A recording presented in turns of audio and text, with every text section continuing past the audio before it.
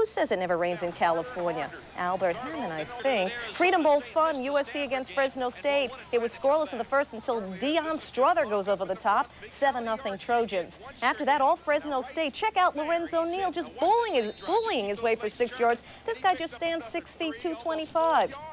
75 yards rushing for Neely. Capped off that effort with that touchdown. We're tied at seven. Then it was time for the Bulldogs defense to shine. They were ranked 98th in the country coming in. Look at them. Stop Estrus Crayton from going anywhere, holding the Trojans to 183 yards totally. Fourth quarter, 10-7 FSU.